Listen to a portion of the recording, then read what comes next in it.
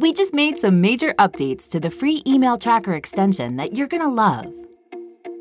Now when you install this extension, you'll have the ability to export your email tracking information into a spreadsheet so that you can have a high-level report of who's opening your emails and who isn't.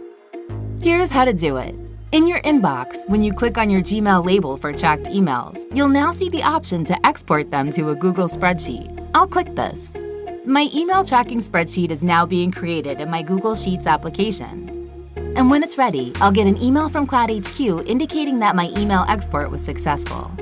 Now I have a spreadsheet that organizes all of my tracked email information, including how many times each email was opened, if it had a tracked link included, if that tracked link was clicked, the date and time of the first open, the IP address of the recipient, their country, state, and location, their operating system, and that same data for the last time they opened that email.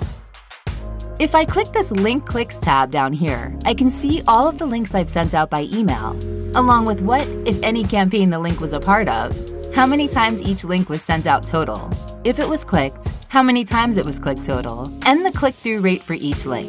If I click the Campaign Engagement tab, I get the advantage of seeing the engagement metrics for every email campaign I've sent out. And if I click the Non-Campaign Email Engagement tab, I can quickly view the engagement metrics for any email I've sent out that wasn't part of a campaign.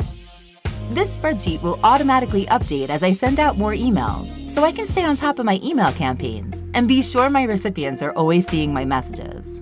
Another great new feature, you'll now be able to sort your inbox by tracked emails and quickly view only the emails you sent out that were tracked. If I click here on Unopened Emails, my inbox is sorted again and I can easily see the emails I've sent out that have not been opened yet. And if I click on Opened and Awaiting Reply, I can view the emails I've sent that have been opened but not yet replied to, so I know which contacts I should prioritize following up with. You'll also have the ability to sort your inbox by emails awaiting your reply, so you'll never have an email slip through the cracks again. I simply click on my Sorted Received Mail in my Gmail labels and then select Not Replied.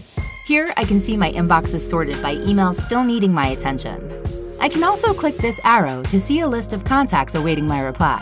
And then when I click their name, I can see all of the emails and work through the process of following up.